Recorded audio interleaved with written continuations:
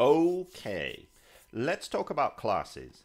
Now, I've always understood that most people in the world have no clue about RC car racing. Scale motorsports. What, what are you joking? They just don't know. But the thing that always gets me is most of the people who actually know about RC cars and have RC cars, even they don't know about racing. And if they do, they don't really know enough to even be interested, or they are intimidated by it. So that's always bewildered me. Like, how can this be? How can there be so many more people with cars bashing, driving in the park, but they don't go to actual tracks and they don't actually pick up racing? If you're even slightly competitive, that's what you should do. It's so much fun, trust me. Okay, let's look at the different classes now. There are two main ways to separate uh, racing on road and off road, and electric or nitro. So let's start with on road versus off road. Which one is better? Well, it's just a preference, isn't it? But if we generalize a bit, we can pick up on some trends. I've found that on road races tend to be a bit more meticulous about their material they're a bit OCD. You know, if you have OCD, probably you'd like to run on road. You know, you want to make sure that everything's clean and neat and tidy, and you don't like the dust and all that stuff. So, on road, it is for you, maybe in that case. On road is also more about the equipment, so more about setup, the wrenching, fixing your car, adjusting it, making sure it's just perfect. And while club racing is less serious and fun. Typically, at the bigger races, the on road guys are a bit more uptight, a bit more serious. That's just my experience. Off road, on the other hand, is a bit more relaxed, it's a bit more laid back. It's uh, less OCD, more about the socializing, having fun, bashing, racing. Ah, it doesn't matter. More careless in that sense. Now, this is just a sort of general overview. Of course, there's overlap. But this is just a sort of trend you can pick up on. Okay, now the second big division between the classes is electric versus nitro. Oh, here we go. I have to admit, electric is actually easier than nitro, especially if you're a complete beginner. Electric will just be easier for you to pick up. But that doesn't mean that nitro is impossible. It's not, it really isn't. Even if you're a complete beginner, you can learn the basics of nitro racing pretty quickly and have fun racing nitro. So don't think that just because you're a beginner you have to run electric. No, if you prefer nitro, just start with that. You can do it. It's like learning to play the guitar. If you really like electric guitar, then get an electric guitar and start learning with that. You don't have to get an acoustic.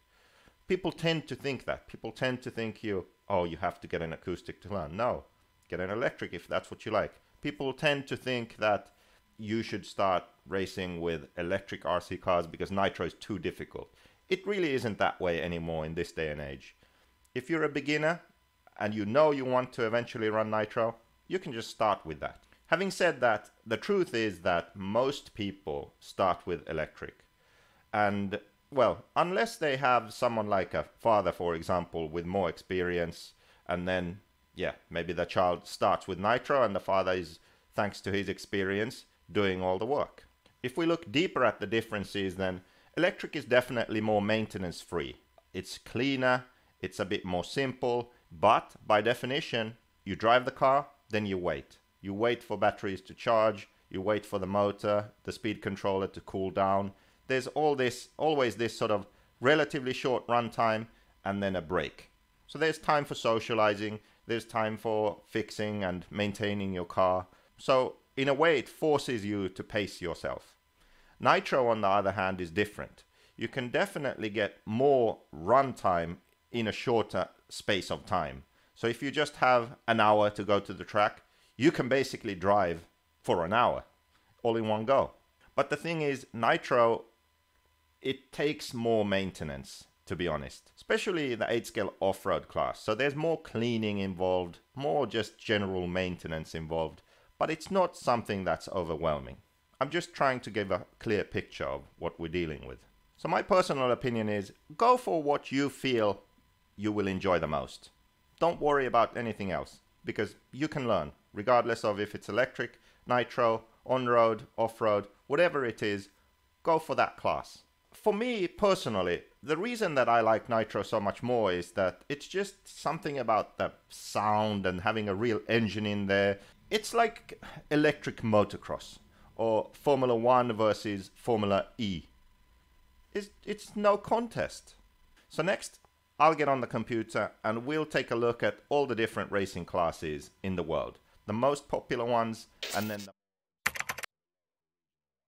Okay, let's go.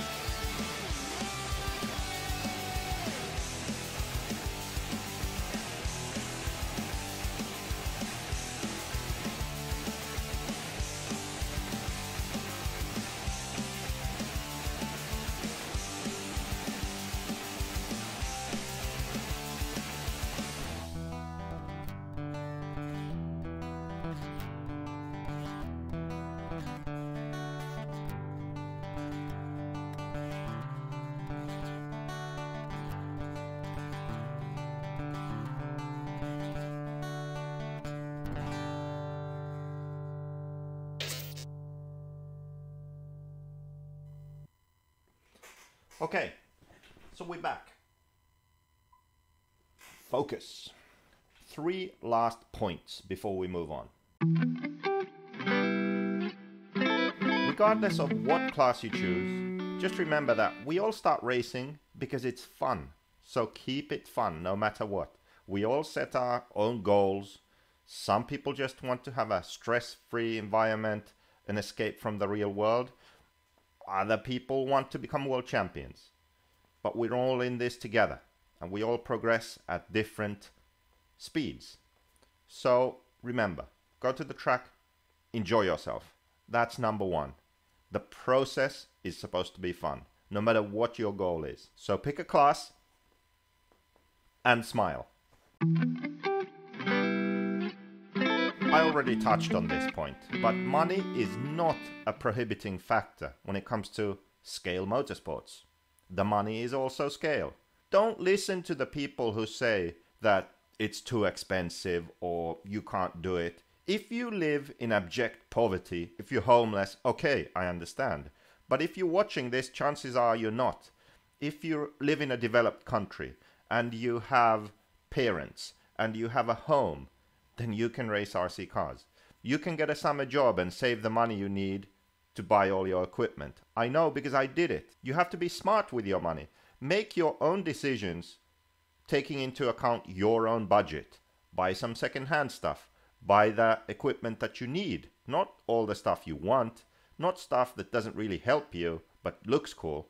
You know, be smart with your money. There's always a way. Where there's a will, there is a way. And money is not a prohibiting factor when it comes to RC racing. Trust me, full scale motorsport costs thousands of dollars just to start, just to get a dirt bike or a go kart. It's thousands and thousands of dollars. And not only that, you also need a parent to help you. You need transportation, you need some kind of support. You can't do it alone. Not with RC car racing. You can actually do it alone. So this truly is an amazing hobby. It's the best and safest form of motorsport. Well, after motocross. But you get the point. The importance of attention to detail in RC is paramount. I can't stress this enough. Most of the things are actually pretty simple. They just take some extra attention and care. Simple things like just maintaining your equipment well, which we'll actually cover in this course. That's all it takes. Make the most of your equipment. Don't worry about other people, what they have, what they can afford. Worry about what you have and make the most of the equipment that you have. And as I already said, remember to have fun because this really is an amazing hobby. Travel the world, meet new people, explore. You never know where you'll end up and what opportunities will come your way, who you'll meet. And even if you only race locally with your friends, it's up to you. The decision is yours. This course works for you no matter what you decide to do. Because even if you only race locally for fun with your friends, a car that works well and driving to the best of your ability, it's just more fun. Especially when you beat your friends, right? Let's get started.